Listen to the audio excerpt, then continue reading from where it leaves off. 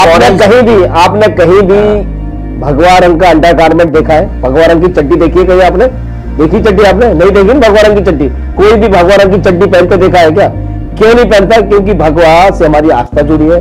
भगवा हमारा झंडा होता है। भगवा इस देश की आन बान शान है। मठ मंदिरों की यही पहचान है। मुझे लगता है कहीं हद तक इसमें भी सेंसर बोर्ड बॉलीवुड के साथ मिला हुआ है कि जिस फ़िल्म की पब्लिसिटी में लाखों करोड़ों रुपए लगते हैं। उस पब्लिसिटी को इसमें कुछ विवादित चीज़ डाल के फ्री में करा देते जब बताए हिंदू की आनमान शान है केसरिया। ठीक है। ठीक है। और भगवा से ही हिंदू की पहचान है मठ मंदिरों पे भी भगवा के भगवा ध्वज होते हैं। तो शास्त्रों में ऐसा भी कथन है कि नाभि से नीचे भगवा रंग नहीं डाला जाता ऊपर ही डाला फॉर दैट मैटर ये भगवत गीता की ये पुस्तक यहाँ पर रखी है इनका कलर भी भगवा है।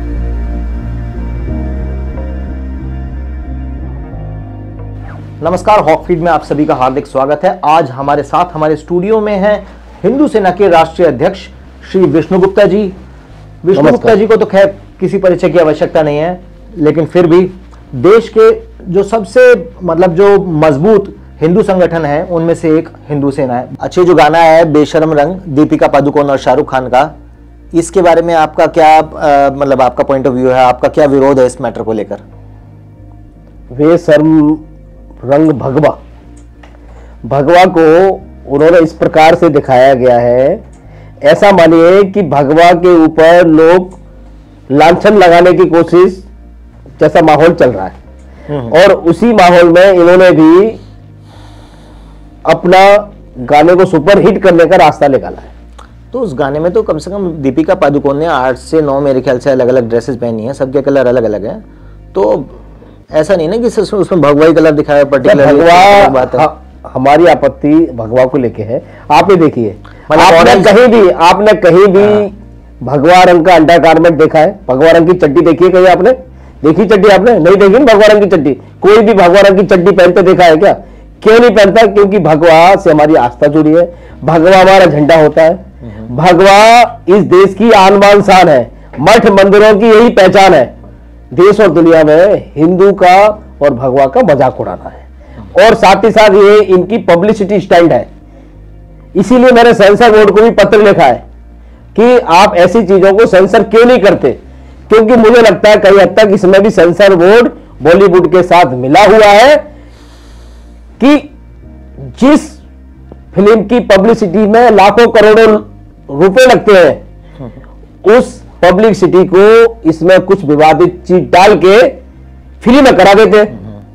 और नाम उसका आता है कि हिंदू संगठन हर बात पे आग बबूला हो जाते हैं। मैं तो तो कहता हूँ ये तो सेंसर ही- बोर्ड मैं तो ये कहता हूँ चीज़ सेंसर बोर्ड यदि ज़िम्मेदारी से काम करे तो ये हिंदू ये जो फ़िल्मों के मैटर है ना ये सिर्फ़ सिनेमा तक सीमित हो जाए सड़कों तक नहीं आएँगे।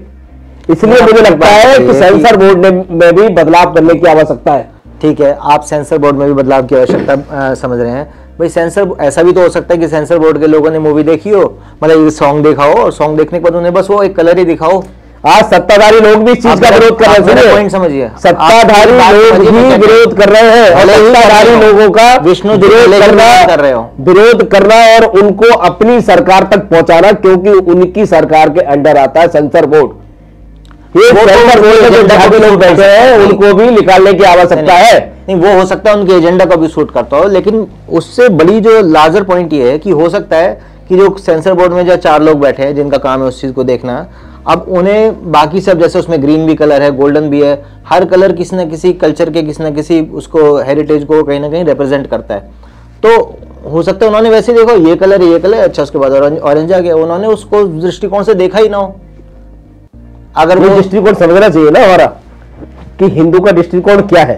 तो और ये सरकार का दृष्टिकोण क्या है? ना विष्णु जी। ये हिंदू आज सरकार चल रही है इसका दृष्टिकोण क्या है? ऑरेंज। बॉलीवुड को समझना पड़ेगा। भाई दस बारह रंग है पचास रंग है तो बंदा कई कल अगर एक ही कलर के कपड़े पहन रहे हैं तो पॉइंट समझ में आता है नॉर्मली भी लोग। लेकिन मतलब अगर अगर बात करें ना तो मेजोरिटी जो डिस्कशन चल रहा है सोशल मीडिया का वो यूथ का यही चल रहा है कि ठीक है यार अगर सिर्फ़ ऑरेंज पहना होता तो मुद्दा बनता था।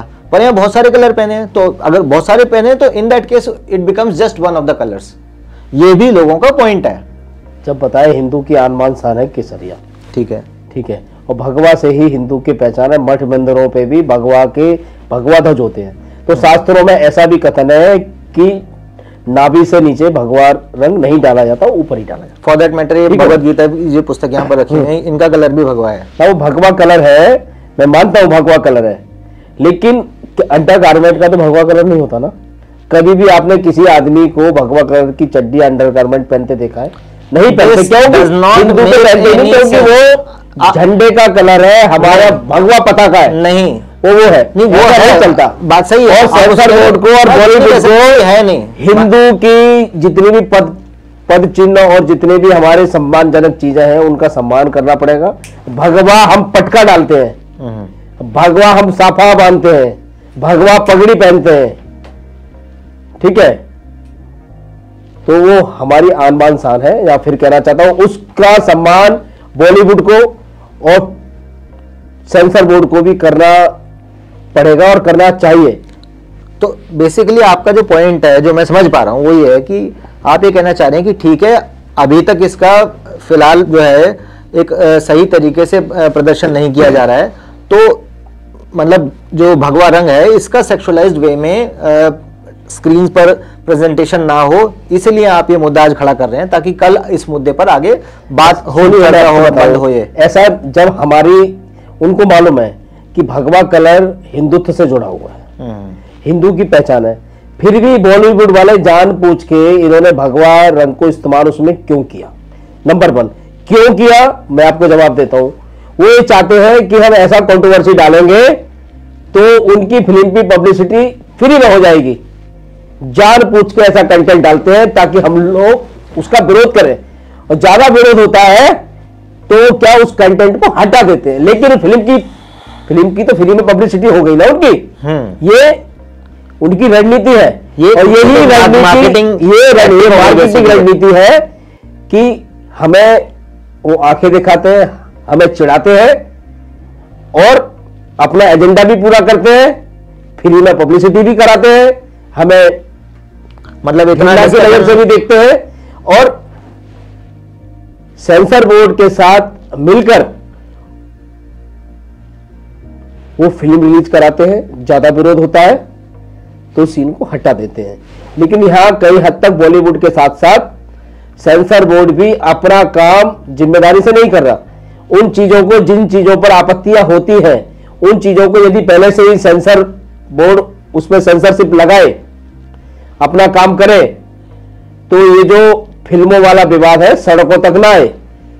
इसलिए मैं सरकार से भी मांग करता हूँ कि सेंसर बोर्ड में हिंदू विचारधारा वाले जो हिंदू भावना को समझे, ऐसे व्यक्ति को सेंसर बोर्ड का अध्यक्ष बनाया जाए।